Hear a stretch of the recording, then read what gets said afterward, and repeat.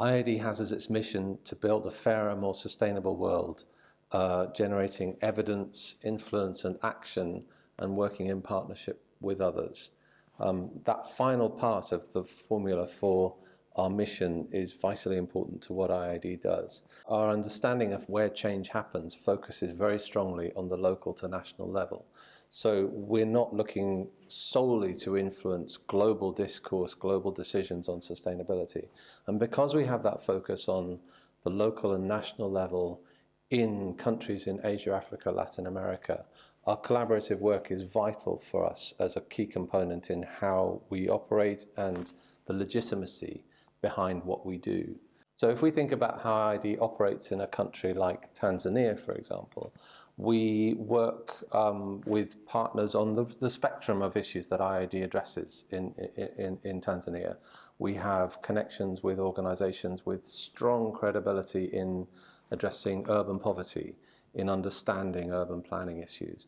We work with Tanzanian organizations that are expert in agriculture and in um, food systems. We uh, connect with organizations and, and government representatives responsible for addressing the impacts of climate change, dealing with volatility and climate. Um, and we work with uh, communications experts in Tanzania who are responsible for engaging with um, a wider population, engaging with decision makers from a Tanzanian perspective.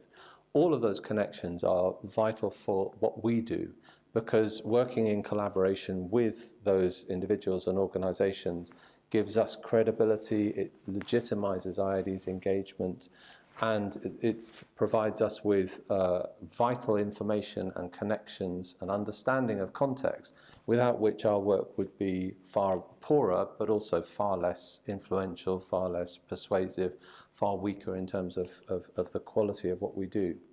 In terms of what IIED looks for in our collaborative work, in the partnerships that we have uh, in delivery of uh, of our, of our research, there are a number of factors that are common across uh, uh, across all of our, all of that collaboration.